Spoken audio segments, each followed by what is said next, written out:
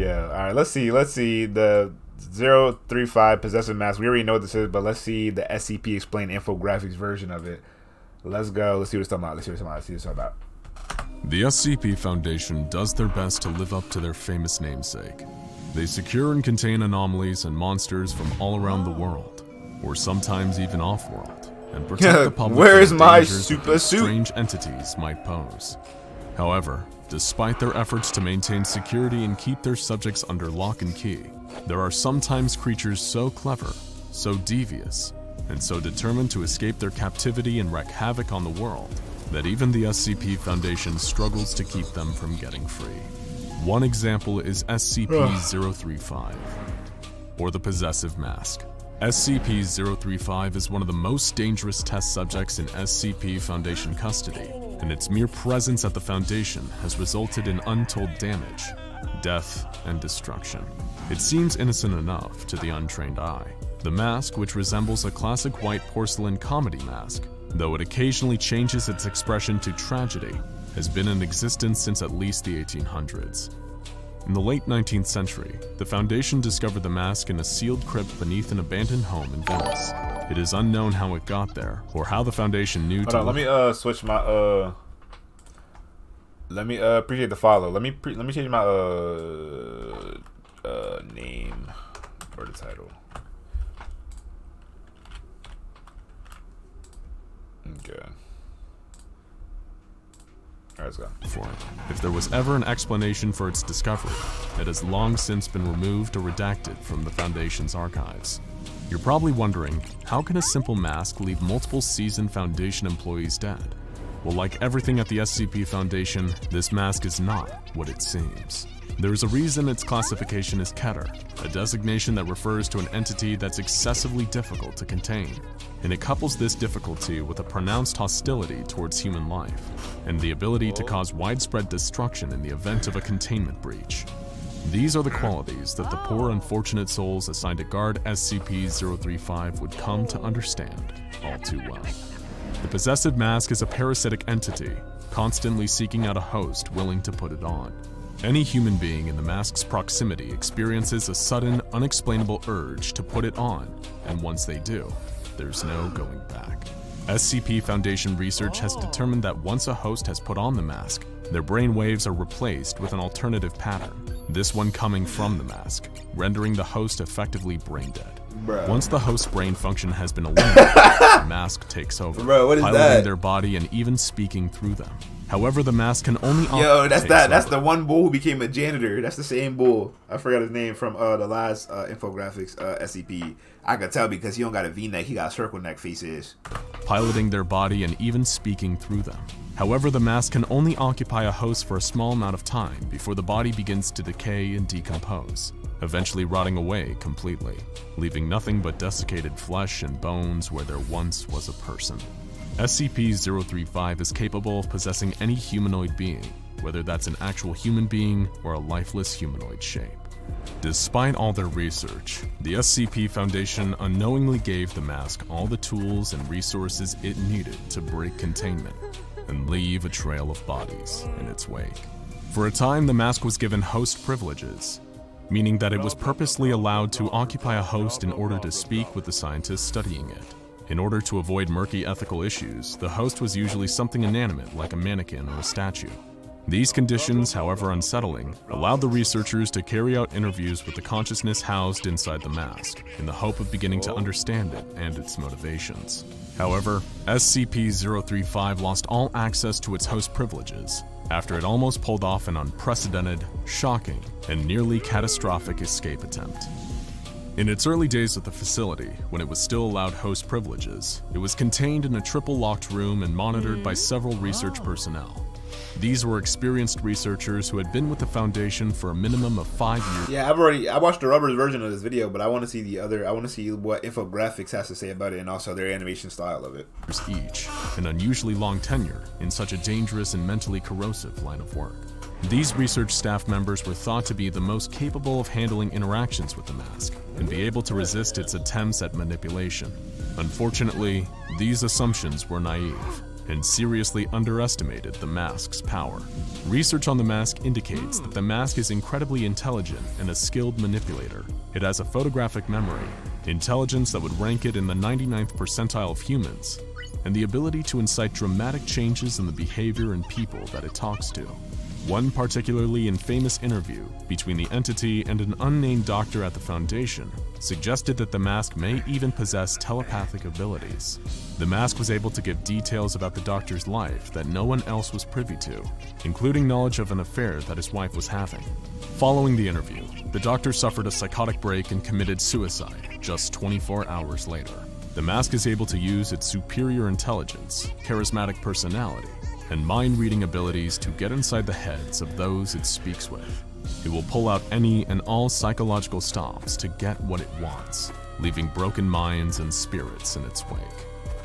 It was really only a matter of time before it used this skill set to its advantage and attempted to escape its confinement. The day of the escape attempt was like any other. The ah. research staff, a team of three intelligent, experienced men, checked into the facility, measured the conditions of the mask's containment unit, and began the process of interviewing the mask like normal. Its motions were slow and looked to require great effort, as its current host was beginning to degrade beyond use.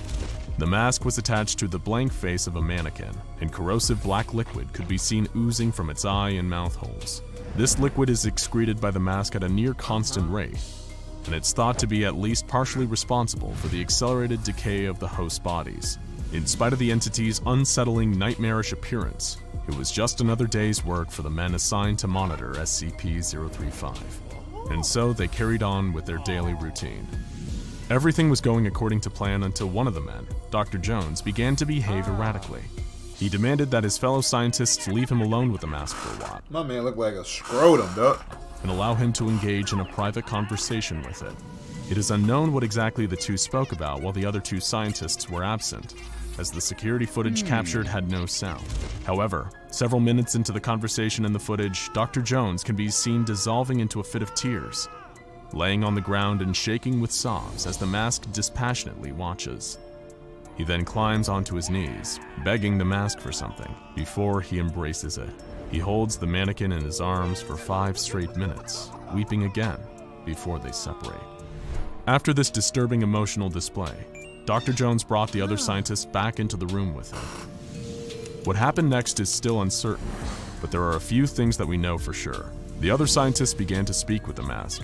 In later interviews, the other scientists were bordering on incoherent babbling about various traumas from their lives. One repeatedly referred to a drunk driving accident where a dear friend was killed, and he was at fault. Another simply cried out for his mother again and again. Whatever the mask said to them, it was enough to completely destroy their mental health. After the two scientists had been emotionally devastated by the mask, Dr. Jones escalated the situation further. Dr. Jones removed the mask from the decaying mannequin body and, shocking everyone who had later reviewed the security footage, placed it onto his own. Oh, face. nah, bro. Oh, no. Once the mask was in place, the security footage ends. At the command of the mask, which was now speaking through Dr. Jones, the other two men switched off all security camera monitoring SCP-035's containment facility. The mask, piloting the body of Dr. Jones like a horrible fleshy puppet, made its way through the facility, avoiding detection until it reached the exit doors, where it was finally stopped by a team of over a dozen security guards. Knowing the dangers of touching the mask, all Foundation employees involved in the recontainment of SCP-035 refused to remove it from Dr. Jones' face. Instead, he was placed in the lock room with the mask still on, left alone to be observed over the security cameras until his body had decomposed beyond use. His body paced back and forth in the cell for days, flesh rotting and dropping away only until sinew and bone remained. Only when the bones began to turn black and brittle, crumbling apart into dust, did the body finally stop moving. His family was notified. The mask was carefully removed from what was left of his body, and his remains were destroyed. The other two scientists involved in the SCP-035 escape attempt were terminated, and their files destroyed. After this incident, a few more failed escape attempts, and the acknowledgement of the devastation that could have been caused if the mask had made its way out into the general population, SCP-035 lost its host privileges altogether. Several research staff protested this decision, insisting that there was more to be learned from speaking with the entity.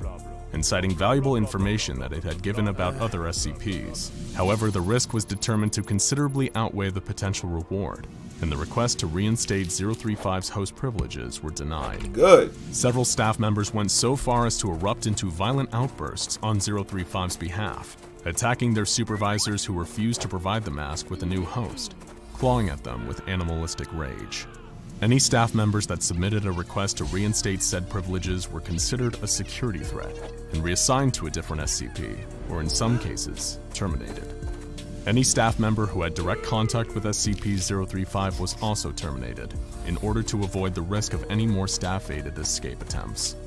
The mask is now kept in a hermetically sealed glass case, and there is a psychologist on call to provide assistance to anyone guarding it in case of adverse effects on their mental health from the mask's presence. Personnel that work around the mask, even in its current dormant state, experience frequent violent outbursts and a higher rate of suicide. Even without a host, the mask's corrosive effects have spread across its containment facility. The walls of the room have begun to secrete the same black liquid that emanates from the mask, which tests have revealed to be highly contaminated human blood that damages the structural integrity of the walls following prolonged contact. This blood has begun to form patterns on the walls, spelling out words and phrases in Italian, Latin, Greek, and Sanskrit, as well as depicting drawings of ritual sacrifice and mutilation. Staff members also report hearing unintelligible whispering and horrifying high-pitched laughter when in proximity to the mask. Further exposure to the mask results in migraines, hemorrhaging around the eyes, mouth, and nose, and an eventual psychotic break. Between the corrosive substance appearing on the walls and the physical and psychological damage to employees, SCP-035 is becoming increasingly difficult to contain, and there are debates among staff as to whether the entity can, in fact, be contained at all. As soon as possible, SCP-035 will be moved into a new containment uh-huh. facility, and its previous cell will be isolated from the rest of the Foundation's property and destroyed for the safety of all involved. We can only hope that the new containment procedures are more effective than the last ones, and that this mask never makes its way into the world again. If it does, who knows how many lives it will claim. In the meantime, if you ever come across a strange mask and feel a nearly uncontrollable urge to put it on, ignore the whispered pleas to just try it. Ignore the echoing laughter and the sensation of something older and more powerful than you can imagine rummaging through your deepest, darkest secret thoughts. Turn around and run as fast as you can in the other direction. You'll be glad that you did. Damn, that shit was crazy. That shit was serious. Even though we already know all the stuff that happens with 035, we also know the containment procedure that actually worked with the other SCP so that it didn't, so that the walls wouldn't uh, break anymore and how they clean it out and stuff like that. That's, that's just crazy, you know?